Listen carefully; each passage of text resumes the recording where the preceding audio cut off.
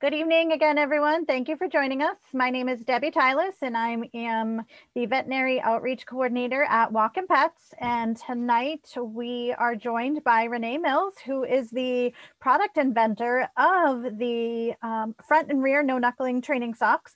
So Renee is going to um, share with us her insights, why she designed the product, tips and tricks on um, proprioception, how you can incorporate the no knuckle into um, your practice, and um, then we can certainly open it up to questions um, toward the end. Um, again, we will use the chat feature at the bottom um, of the screen, there's a little chat. If you guys just want to type your questions in there, um, I can go ahead and read them off to Renee um, as we go through. So Renee, thank you again for joining us and please uh, take it away. Sure. Well, hello, everybody. Thanks again for joining us this evening. I'm really excited to talk to you about the no knuckling training socks. Um, the no knuckling training socks were the very first product I designed. I was actually, I'm a CCRP, I was a vet tech for 17 years, a long time. Uh, and I actually um, came up with this while I was working in practice in patients and looking for a lightweight solution to work on and enhance my proprioception exercises and also to save my back in the underwater treadmill. I can't even tell you how, how many days I went home with a sore back trying to pattern a dachshund or something in the under, under, underwater treadmill. You know, it wasn't so bad with the big dogs, but the little dogs, um, so I wanted something that would help other professionals too to not break your back and have the same effect. Uh, so the no knuckling training socks were born. We started with the rear one, and then we had such a demand for them that I ended up coming up with the front one. So now we have them for both. And so what I've done is I've put together a little presentation for you guys for this evening. I'm going to go through the basics of what it is give you some starter ideas of exercises and how to use it. And then we will open up, like I said, for the chat. I can't see it when I'm presenting, but don't, if you come up with something while I have the slideshow going, go ahead and type it in the chat and we'll get to it. And at the very end, I will open up for any patient specific questions you have and how to use it uh, within practice. So let's go ahead and I will share my screen and we will get going.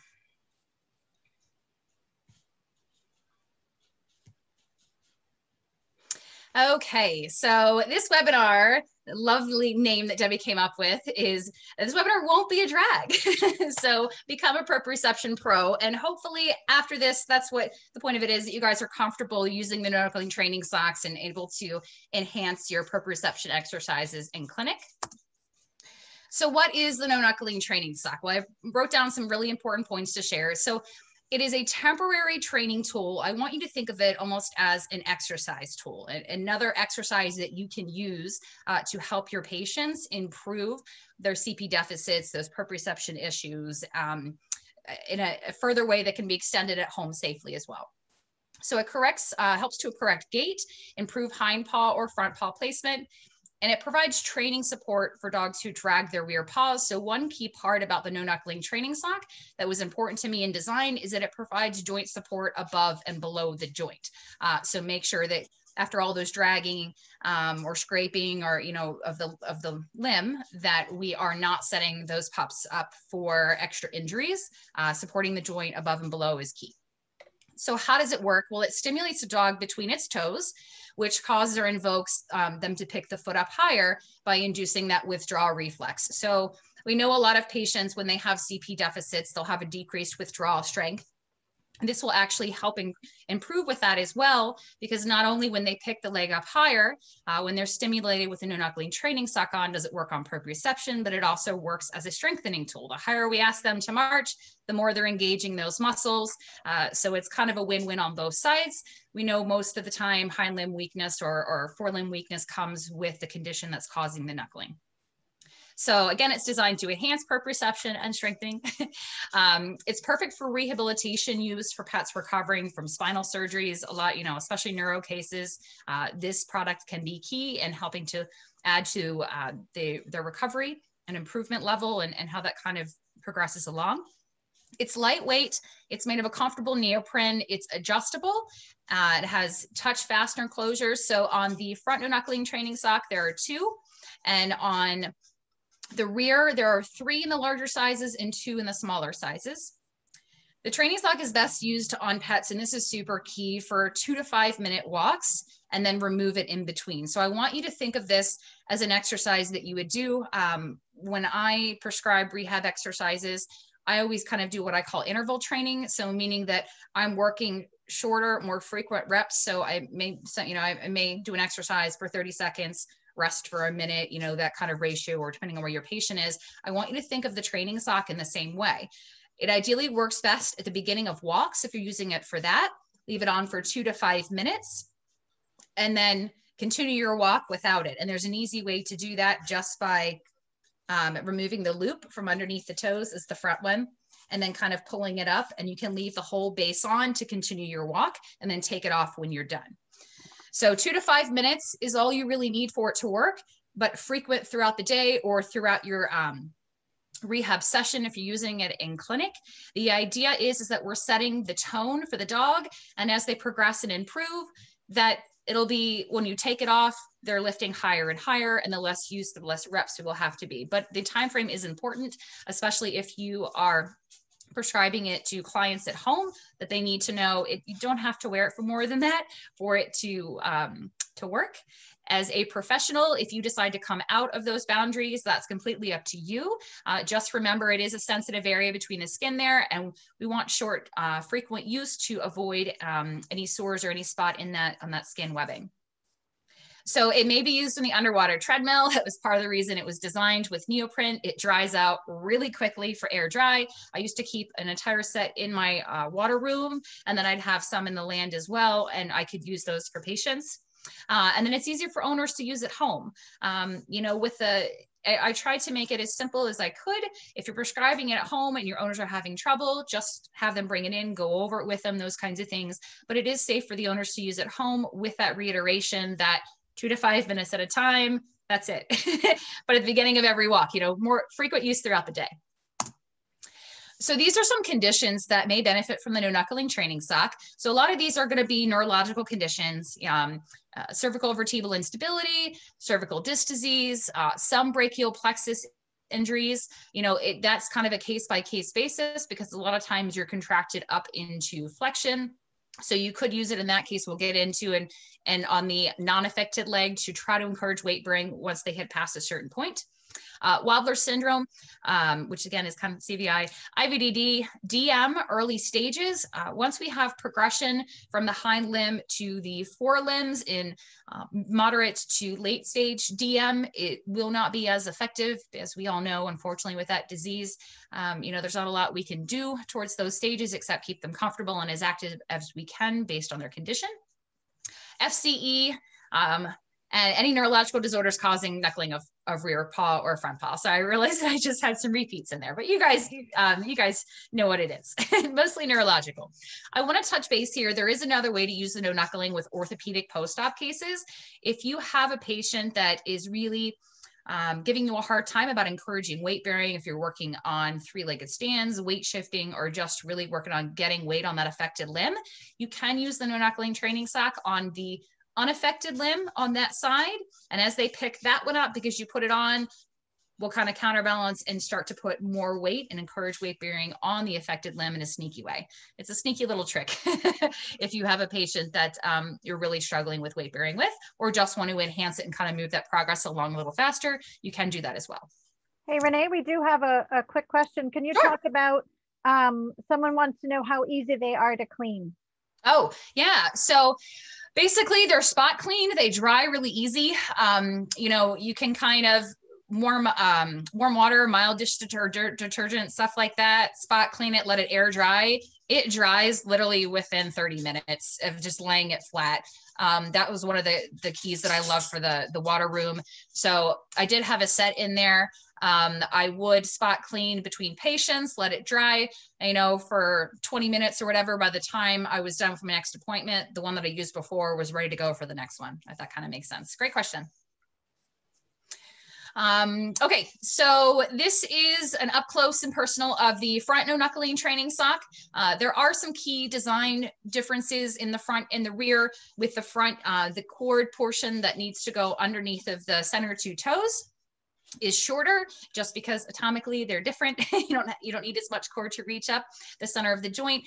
The white tag that is on both the rear and the front are strategically placed to help you identify how to center over for so for this one the carpal joint to kind of give you that idea.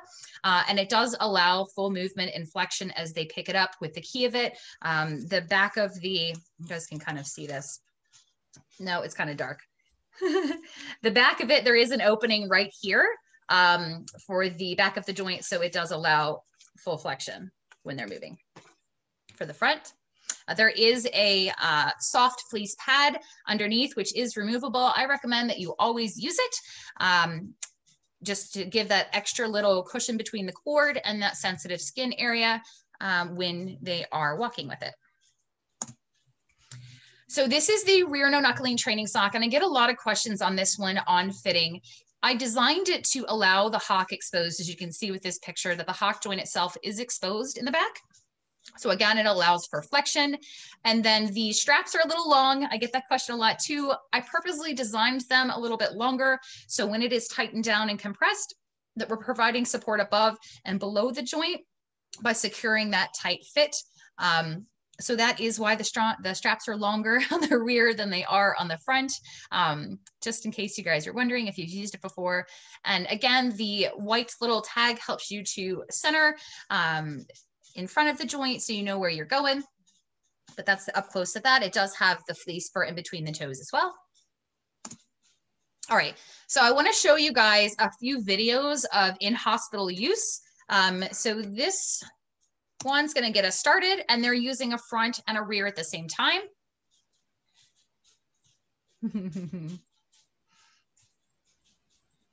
so you can use multiple no knuckling training socks at the same time. I always recommend that you start with the most affected leg that you really want to focus on and then add in, let's see if I can play it again for you guys add in the second one as they get used to it. If you put both on the front at the same time, you know, they, they're going to take a little bit longer to figure it out. But if you use one for days or a week or however long they begin to get comfortable with it, and then add the second one in, you're going to be able to progress a little bit um, sooner and they'll be accustomed to how it feels. Okay, let me see if I can. All right, so here's one in the underwater treadmill. They are using two uh, front ones for this. Again, this is kind of what I was talking about. And part of the reason is not having to bend down and stick your fingers in between those toes and get to patterning. It makes your life a little bit easier on these guys. And without, I'll play it again. Without these on, um, I believe this pup did not have a whole lot of movement at all. so working this and progressing as part of your treatment plan will definitely help to aid in speeding up their recovery and response. So that's pretty cool. I like how they have a donut um, to help support the head as well. I think that's a neat idea. All right, and here is another one. Underwater treadmill. Again, it was designed in mind for animals that are weak and it's super lightweight and that was key to me and that was the main reason that I designed it. Again, you'll see they're, they're using two at the same time and picking those feet up. I'm gonna play it one more time for you guys. And you'll know whether they're marching or not by how by playing with the cord so we're going to talk a little bit about that in just a minute as well and how do you know how tight to to fit it and what the response should be i do have a, a question renee yeah. if, if, you want to take it Absolutely. Um, does the upper closure on the rear sock mm -hmm.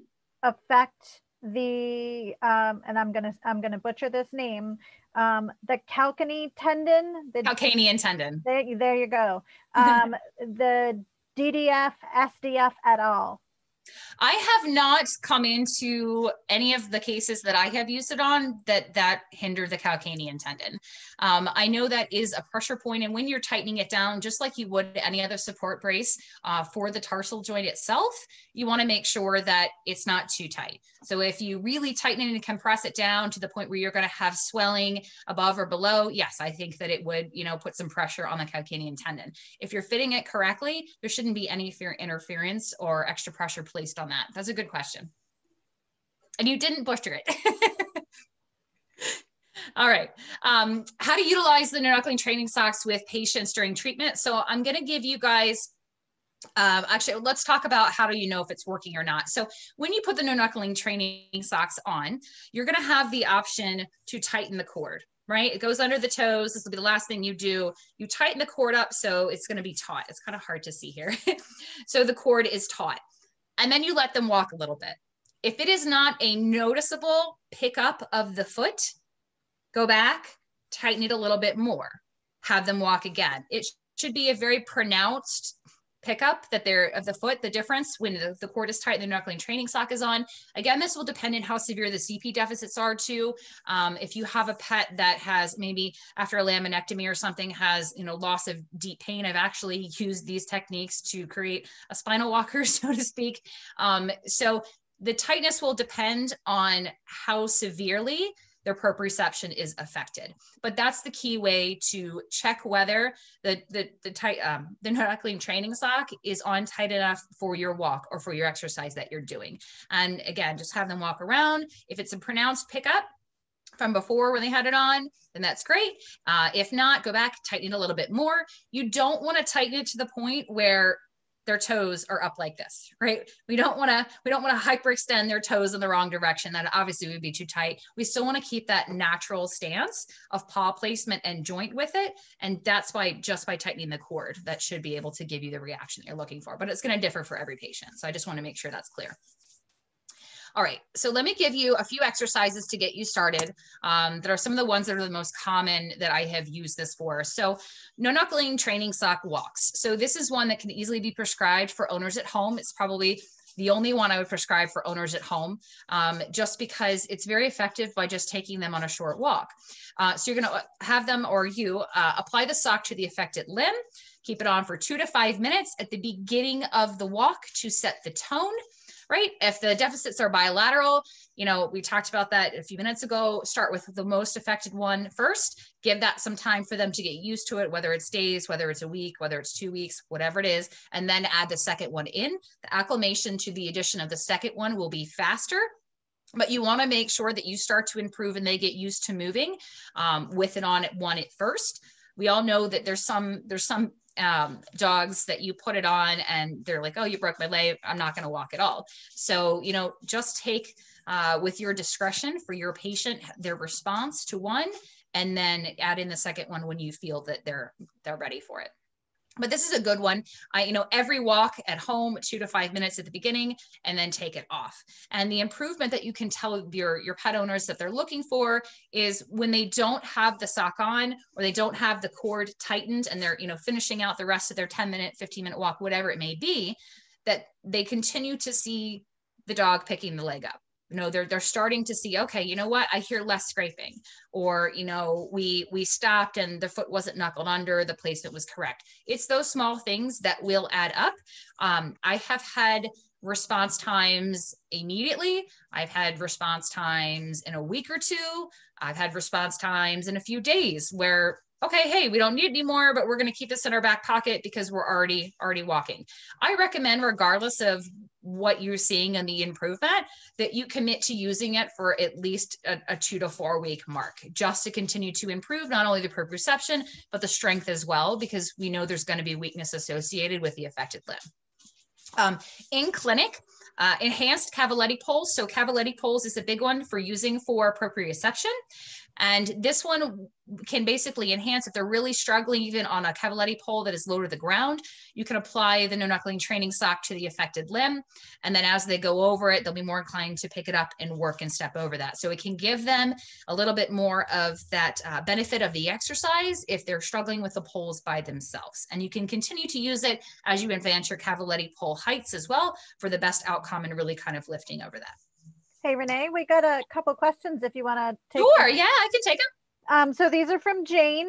Um, okay. She said she noticed in the video at the end the cord seems to flap around a little bit. Um, mm-hmm. Does that tend to bother the dog? Okay. Uh, no, I haven't had that. Depending on, and that was because that one was tightened down quite a bit. So if you're tightening this down quite a bit to get a response, you may have a flap in the front but if you're in the treadmill or walking, you know, it's not like they're um, a horse prancing like this. You're not going to get a whole lot of jiggle with movement uh, when they're walking, but you may have a little bit. I haven't had one person say that affected, and I haven't personally seen it affect the dog. And then this is also from Jane. Okay. She said, with dogs with DM, is there a plan to encourage muscle tone in the early stages? Yes. Yes, yes, yes. My so this is my personal two cents on DM cases uh, that I've worked on, and my consensus is is the more activity that you can give them early on, the better off they're going to be. Um, you know, you're you're basically trying to prolong um, the progression as long as you can by keeping them as strong as you can. So in DM cases, you know, it's it's a big, uh, it's a it's a big oh gosh, what's the word I'm going to say? Collaboration of different exercises from proprioception to strengthening, especially. I love to swim those guys. Any DM case I had, I saw a minimum of three times a week. And that was the commitment. um, which I swam them. We did proprioception. I use the no knuckling training socks because not only proprioception, but strengthening. Um, so yes, early stage, you know, maybe even moving into moderate, when you start to see the progression into the front, um, you know you, you, may not be as successful i'm not saying that you can't still continue to work at it i believe you should um, until you know that time comes but good question yes dm be as aggressive as you can with as many exercises walks strengthening combinations and the cool thing with that as I know I've already stated, but the no knuckling training sock encourages them to lift the leg higher. So we're in doing that, that we're working those muscles and joint range of motion a little bit better. It's kind of a, a two, three, and one combo exercise. Great question. Is that it, Deb? That's all I got for right now. all right, good.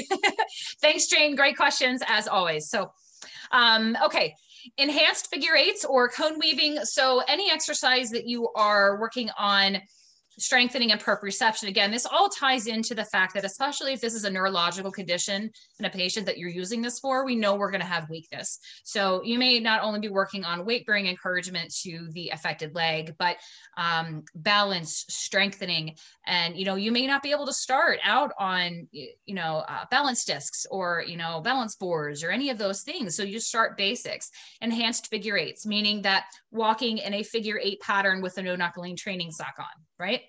And knowing that we can put the affected leg to the inside of every turn to get them to utilize it more. Uh, cone weaving is one of my favorite, favorite exercises um, just to work on balance, strength, coordination, and using the no knuckling training sock in correlation with that is fantastic. Uh, it's very simple. I love simple exercises that I can build on and uh, increase the difficulty or increase the reps, those kinds of things. That's just my personal preference to each their own. Um, but cone weaving is a really good one just to work on proprioception as well. Uh, treadmill patterning. So this can be dry land treadmill. This can be water treadmill. Um, anytime that you are working on patterning and uh, foot placement for them until they start to get the strength and, and figure out those connections are rewiring and, and, and, you know, getting back to where they should be. So you can apply the sock to those affected limbs. It will greatly save your back, number one, but it'll also enhance the workout that they get. So if we can combo, um, you know, an assistive device like the no knuckling training sock with one of our other exercises, to enhance the workout that we're getting and the time frame that we have maybe before the patient fatigues as well that's a win-win in my book. So those are some basic ones to get you started. Um, there's a zillion things that we could add this into. Uh, again you know like i said if you have an orthopedic case that maybe it's a post-op TPLO, TTA, FHO, any of those guys where you're struggling to really work on getting the patient to respond to weight bearing exercises, um, you know maybe you're doing three-legged stands or you're you know walking um, and, and trying to encourage weight bearing you know or maybe you're doing elevated weight shifting. Anything that you're trying to encourage that weight bearing on the infected limb the no knuckling training sock i have found can be used on the unaffected limb to encourage them to lift that up during the walk and plop the weight on over. It's very sneaky. um, I had to use this a lot of times in little dog FHOs that would rather walk on two legs instead of three or four. They're perfectly fine with that. Um, and so, you know, thinking outside the box and how to use that, um, I challenge you to be open minded if you have a really stubborn case that's uh, post op ortho to grab the knuckling training sock to work on that weight bearing encouragement. Okay, so that was a lot. um, so now is the time where we can open up for more questions um, or patient specific protocols. If you guys have a case that you are thinking that this may work for and want to talk it through with me, I'm happy to do so at this time. Or anything that maybe I missed. I'm going to stop sharing my screen here. So, Renee, yes. If you're going to work, because I have a, I do have a patient in mind Okay. Um, if you're going to try one on a rear end of a dog with DM, mm-hmm. would you try the worst limb or the better limb?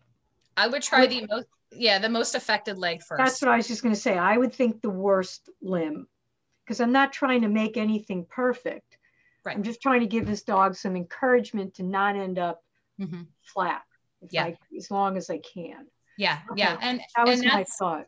Yeah, and that's that's that's right on. It's key with DM, in my personal opinion, that you do as much as you can as early on as you can, and this gives the owners something that they can use at home too for walks. You know, it, it is heartbreaking for us and the owners with DM, and you get all those bloody toenails, and then you have that battle and and those kinds of things. You you also have the owner is a physician, which is always a problem for me because ironically, he doesn't really everything I suggest is like, eh, it's always too much work. put put a bunch of rugs down. Eh, don't want to put them on my tile floor. You know, it doesn't matter what it is. It's like eh, to everything is a reason. So, you know, maybe if I offer him this versus a wheelchair, maybe he'd go eh, to the wheelchair and take a, you know, you uh, clearly I'm exaggerating, Right. But I'm just trying to think around the yeah. my own primary care doctor. That's what I'm trying to think around. So, okay.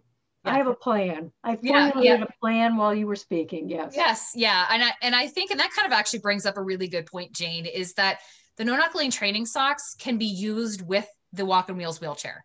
So if you have a DM That's case, interesting. See? Yeah, so if, I'm yeah. this. yeah, you just you just spawned that thought of something that I didn't didn't include in there. Um, I'm sure Debbie would have caught me at the end. I'm always like, okay, Debbie, what did I miss? You know?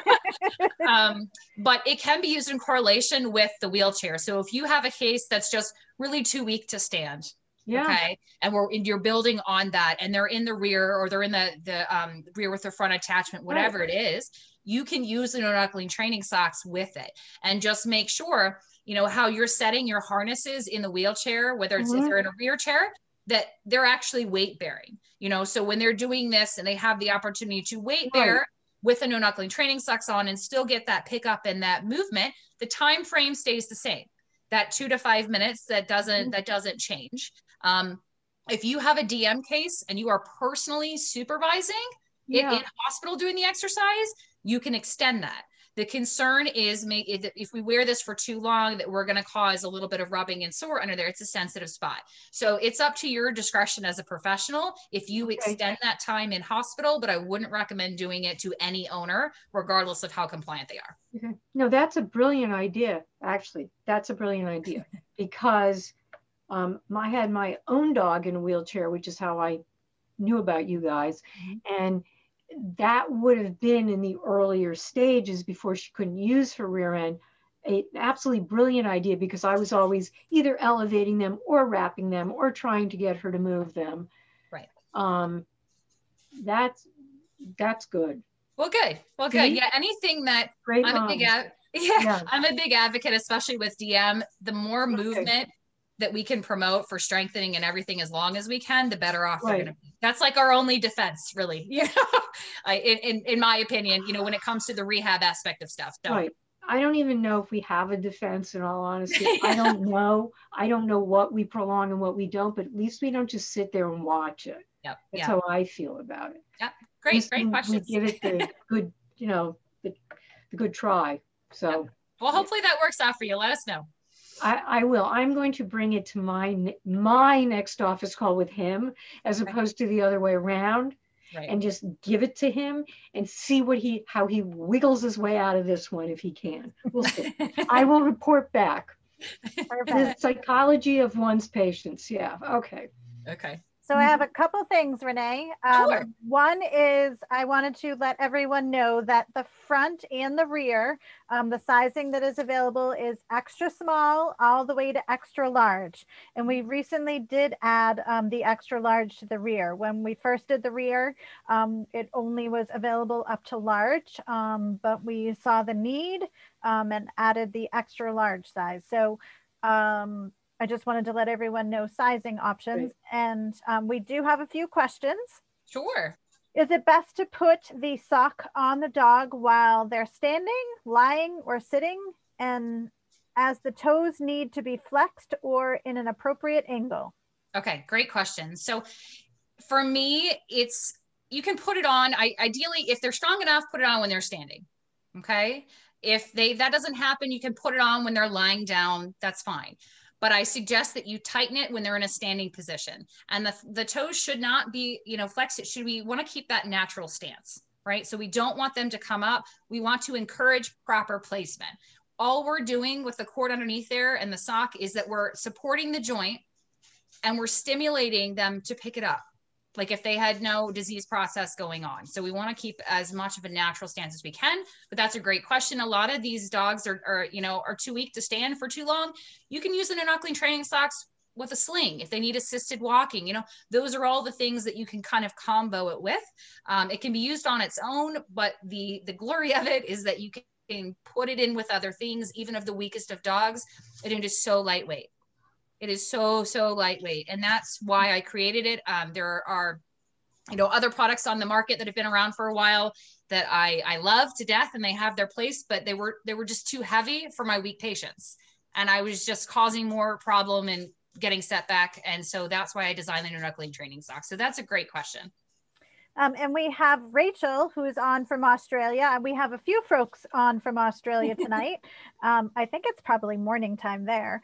Um, but um, Rachel's been using these in her rehab for the past few months. She said it's an absolutely brilliant product, um, aiding in their walk for senior dogs with a low lift step. Um, paralysis case in one hind limb um, and a 14 week old puppy. The only problem was the owner had to purchase two because the puppy ate the first one. um, she said, Thank you. She, I, she thinks it's a fantastic pro- uh, product and she highly recommends. She said, Oh, thank you. You're going to make me tear up. she um she did say that she feels that the cushioning between um the on the larger sizes sometimes seems to be a little bit bulkier than the smaller size um but other than that she highly recommends this product Oh, well, thank you, Rachel. Thank you for joining from Australia. I know Jillian's from Australia too, and this is in the middle of the night. I really appreciate hearing that. You know, I designed this product, my very first one, and I actually figured out that I was pretty good at designing products, assistive devices for pets after I did this one and taking my um, my rehab knowledge and vet tech knowledge and I actually kind of found a new calling. So, but this is the, the first one. And again, I designed it for you guys. I designed it for professionals and I designed it for the animals to um, improve their recovery. So when I hear these things of how it's working, I, like I said, I start to tear up. it's, I, am really, really happy um, that you're able to, to utilize it and, uh, you know, that it's helping your, your patients as well. Oh, it's morning. It so is morning I, in Australia. It is morning. I think last time it was the middle of the night, wasn't it? I figured you were napping when we couldn't see you. Okay. It is the morning. So I um, just want to add in a couple quick things that I get um, either from customers um, in our office through our customer service department um, or folks that contact me um, in regards to certain questions. Um, so one of the questions we always get is, can it be left on for the entire walk if you remove the cord um, from between the toes. Yes, and that's actually something that's kind of come about as it's been used more widely. Um, and that's kind of great that these tips grow in a product. Uh, so I, you can leave it on, and actually, I suggest that's the easiest way to do it. So basically, you know, this is the front one I have here. When you are wearing it on and you hit that two to five minute mark, you literally can take this out from underneath the toes pull it up tighter so it's not dragging and continue the walk. So you don't have to stop mid walk and take the whole contraption off. Um, and that was something that a customer actually brought to our attention or asked about. And I was like, well, hey, that's yes that's that's great let's start let's start you know sharing that information so that's a great question debbie and it's a it's a good point i'm glad that you brought that up yeah it's, it's you know i just feel like it's it's certain things that i get asked often mm-hmm. um you know and the other one is you know can they be and i and you did touch upon this um can you know they use two on you know the rear at the same time um you know it's it's kind of how people um, people think they might be causing overstimulation. So um, if you and I think you did talk about that um, earlier. So that's usually another question that that we get often. Yeah, yeah, you can, and you can certainly use um, and, and, like in the video that we saw in that rehab clinic, you know, there was one on a front leg and there's one on the opposite rear leg. You can certainly do that. I again suggest you start with the most affected leg, the one that is having the most problem, that has the mo- most decreased, um, you know, withdrawal, that has, you know, the, the worst CP response, and start there and you know get that going and then once they start to get acclimated and i and when i say acclimated is that they're able to take a walk without like hey, you broke my leg, you know, like refusing to move and those kinds of things. And you figure out that proper tightness and how to get them in normal gait. You know, whenever that happens, then you can add in the second one, you know, and you're going to be looking for the same thing. When you're adding in, you have the first one set, you're comfortable with what you're, you know, how taut the cord should be, and you're adding in the second one, you you start over. You go, okay, let me let me watch them walk. And if, if you're trying to figure that out, you could even, you know, when you're adding the second one in, take a take a minute and do that one by itself to figure out okay how much do i need to get that response? Right? Does that make sense? Uh, yeah so you're kind of isolating each one if you're using more than one to figure out the response to each and then put them together. Um, i think is going to be have the best the best outcome to it those are good questions because yes they, they can be they can be used multiples and in the treadmills we saw we had two on the front we had two on the rear you know and then practice we had one on the rear and one in the front so okay. Perfect. There's no other questions in the chat. Oh, so does right. anybody else have any I other questions? One. Having never having never seen these before, mm-hmm. as you know, dogs are not what I usually anyway, having never seen them, um, how do I start guessing as to size? Like so, this boxer, I want to get one mm-hmm. for. Yep. So there are um, the sizing guides. Uh, there's a measurement, and actually, um, Debbie can you know when she connects with you guys, she can send you the information. It's directly okay. on the Walkin' Pets website too. It's a measurement from the top okay. of the, the paw to the center of the joint in the front. And that's basically looking at the cord length that you need um, based on each size. So if you have a boxer, uh, you're probably going to be yeah. in a large 60 to 80 pounds. You know, we give a weight range too. Um, so you're probably exactly. going to be up in there. Yep. That was kind of what I was guessing, but I just figured I'd ask. Yeah, yeah that's all in there. I thought you were going to ask me, can you use it on a fox or a wolf?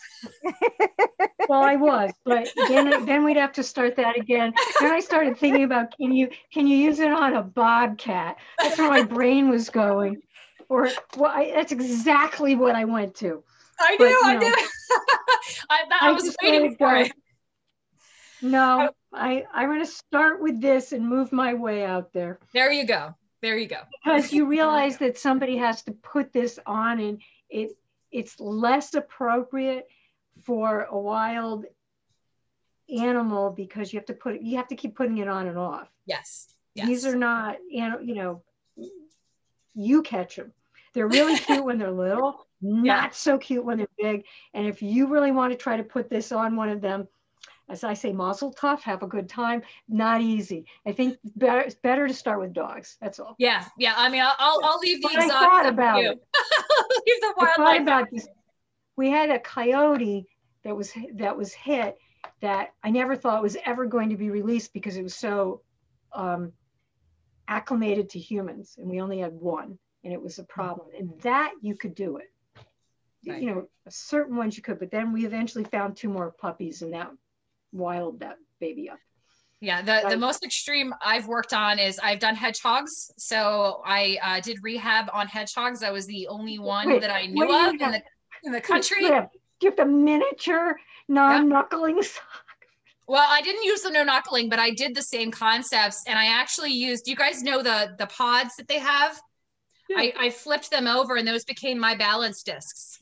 Uh, I use a little pod and a little traction boards. I was actually asked to speak at a hedgehog convention Oh, on good. strengthening I and stuff. it. So Mhm. I've done hedgehogs and I've done some laser on some birds and then rabbits. Um, I have before Walkin' Pets made a, a small, small cart. Um, my husband and I made a wheelchair for one of my long-term rabbit patients, and it was the Oh, only rabbit Right. that I ever put in the underwater treadmill. Oh, God Um, bless I was able to do treadmill sessions with that bunny. His name was Topper, and I still talk to his owner to this day. Um, so it's Yeah. that, that's as far as my I out of my it. range, though. Rabbits make perfect sense. I had this vision of armadillos. Now I've got armadillos in little tiny. Okay, we need to stop. Yeah. yeah. So Okay. today I actually I do have a question um, from Lisa. She said, "Do you ever use it for longer than three to five minutes if they're still drag- dragging their paw and are not irritated by it?" Yes, but I highly recommend that you, as a professional, are the only ones that do it. If you give a wider spectrum to clients based on, you know, there, there there's going to be the client or the customer that just doesn't read the directions or doesn't listen and wears it. I, I saw one, it, it, it broke my heart. I literally did cry on that one. It was Amazon review and someone, some lady said, I left it on my dog, you know, for several hours and then I had to take it to the vet and I'm going, oh my God. you know, if you leave it on for five, six hours, you're, you're gonna, you're gonna create a sore. Um, it's designed as an exercise tool. So if you want to come out of those two to five minute guidelines for yourself in practice, have at it.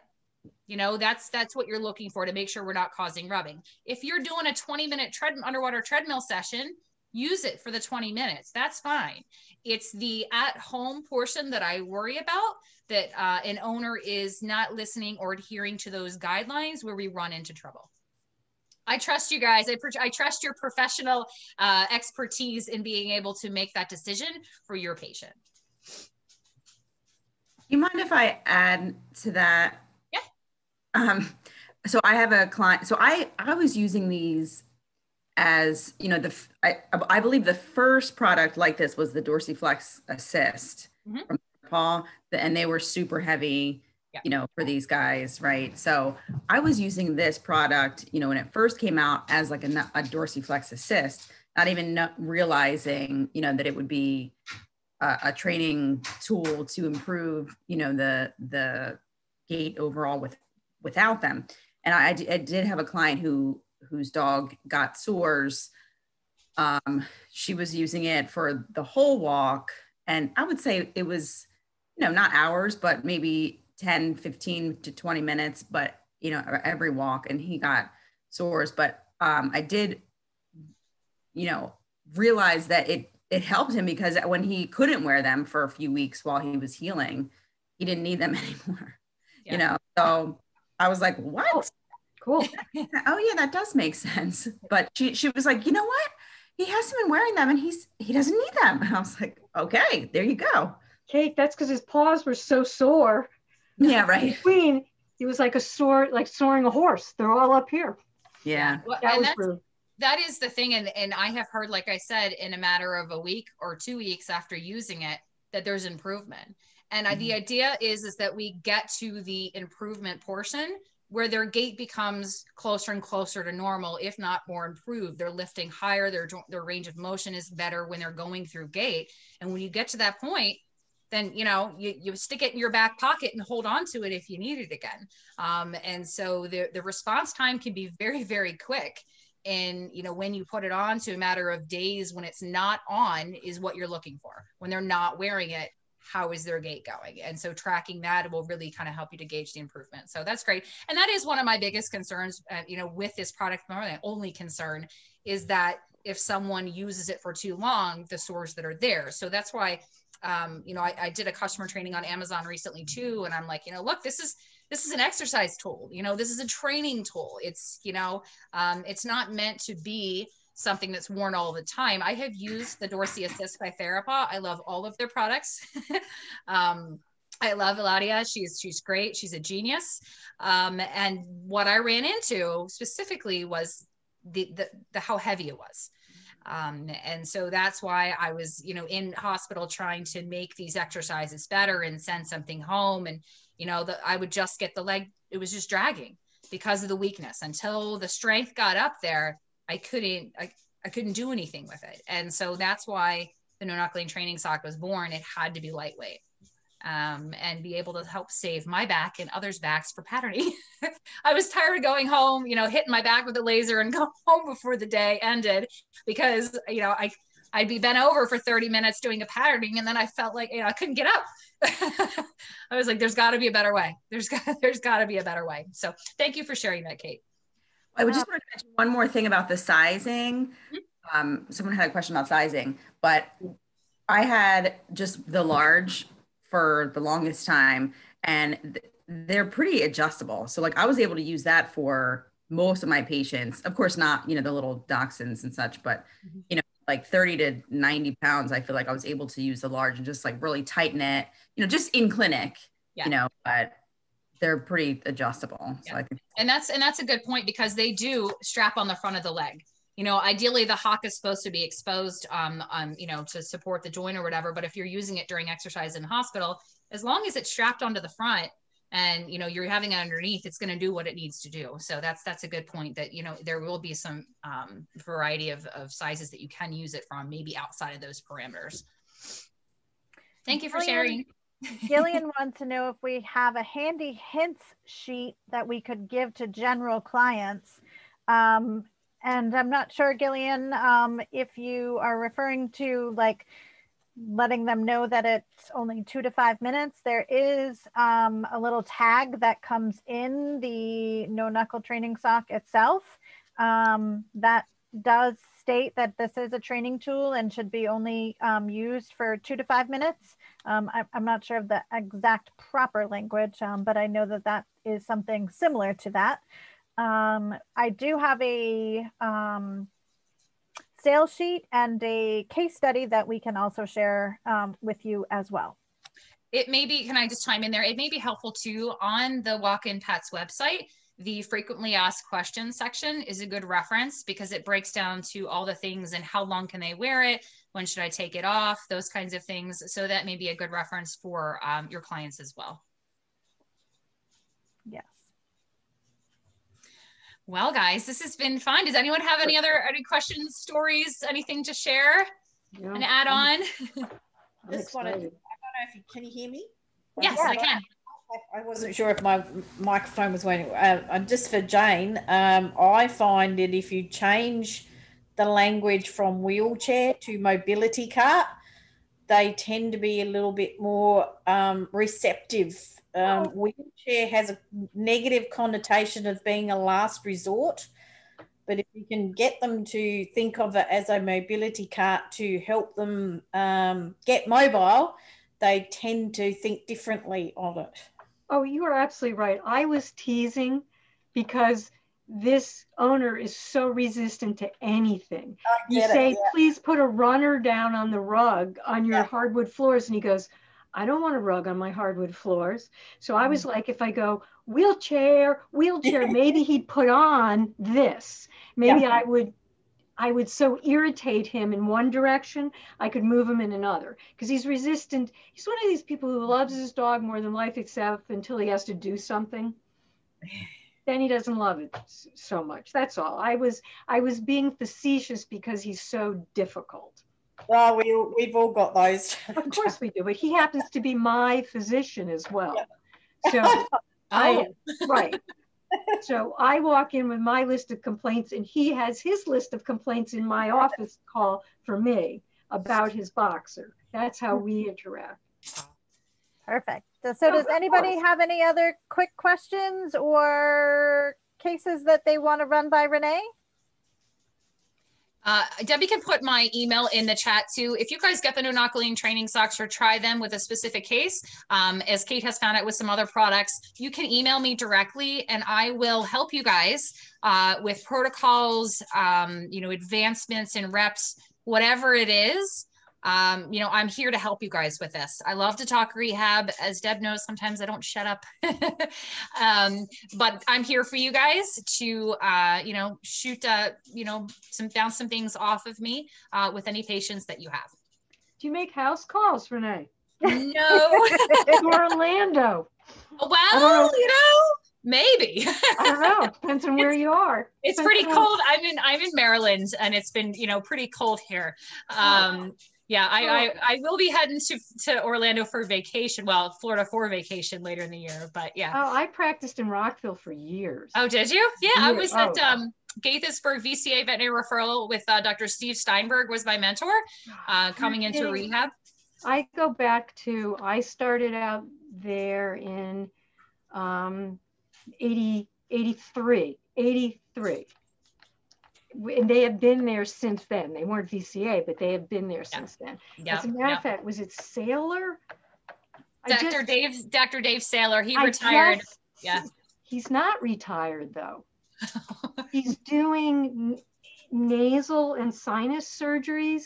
And. I just sent someone to him with a cat, an old friend, and he just did the surgery. yeah. I can't even guess how long he's been doing this. He's A very long time. He's the nose Right. guy. This is how old we all are. That's my old stomping ground for years.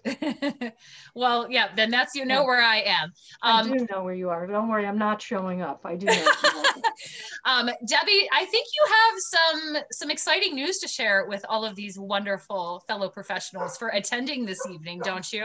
Yes, I do. so, for everyone that attends this webinar, we will be um, contacting you for a um, free no knuckle training sock for you to use. So I did just get a, a message from Julia asking, um, do we go through the email for the size? So I have um, everyone that attended tonight. So I will be reaching out to you in the next couple days um, on whether you want a front, a rear, um, or what size you want. So um, look out for the email from me. We will also um, be sending everyone the recording as well. Um, so if you want to share this with other folks in your practice, um, other rehab friends that weren't able to join, um, please feel free to um, go ahead and share the knowledge. Um, and we'll also, when we send everything to you, we will also send the link to where all our videos can be found. Um, there's on our uh, Pet Professional website, there's um, all of our past um, Zoom sessions. Um, Renee speaks on some of them, I speak on some of them. Um, so um, there's a ton of knowledge there. So please feel free to, again, message Renee, message myself. Um, if you have those patients that you are looking for um, something specific for, um, or just, you know, need to wrap your head around something and bounce something off somebody else, um, we're always here and available for you. Yes, yes, and spread the word. spread the no knuckling training sack word. Go out and and uh, you know, hopefully, you know, the more the more professionals we share this with, the more uh, animals it can help. And uh, we have a really great community. Um, you know, it's it's great to be a part of this, and you know, it's it's a great to to be a part of taking all the knowledge that I've learned from this community and working in it and continuing to design products uh, to help pets. I have a really couple new ones that are are been working on um, that will be coming out through Walkin' Pet. So I'm really excited when we get to those Zoom sessions about the new ones. Um, I think you guys are going to be happy. I can't say anything else. so uh, you know, keep you on the edge of your seat.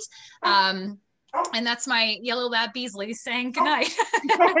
He's barking now. He's like, "All right, mom, dinner time." So awesome. Well, great. Thank you, Renee, again for um, you know helping us and guiding us and providing your knowledge um, for another great webinar. Um, thank you all for giving up some of your evening um, in the U.S. and for those of you in other countries, good morning and thank you for um, spending part of your morning with us.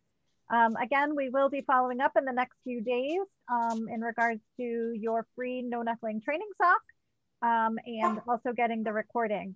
Um, our next uh, webinar is, um, are we May 19th, Renee? I thought I think May 21st was sticking in my head. It's mid-May. I was going to say, because we're typically on Wednesdays, so it Mhm. must be the 19th. 19th. There we go then. Yep. Okay. Um, so May 19th is our next session. We will be back at noon time for that session. Um, and it will be um, in regards to the Walkin' Wheels, um, how to correlate and um, the correct fittings, um, how to put into some rehab protocols and things like that. So um, again, it'll be um, Renee and I doing that presentation as well. Um, so stay tuned for that announcement and um, the link for registration. And just to add one thing, Debbie, if you guys have uh, things or topics that you want to hear us cover in regards to product use, um, whether it's rehabbing, clinic, whatever it is, uh, feel free to email Debbie your thoughts, what you want to hear about, um, so we can continue to make sure that we're talking about things that you guys want to continue to learn about. Okay. All Thank right. you, Well, thank you, everyone. Have a great evening. Thank you, everyone. Have a great night.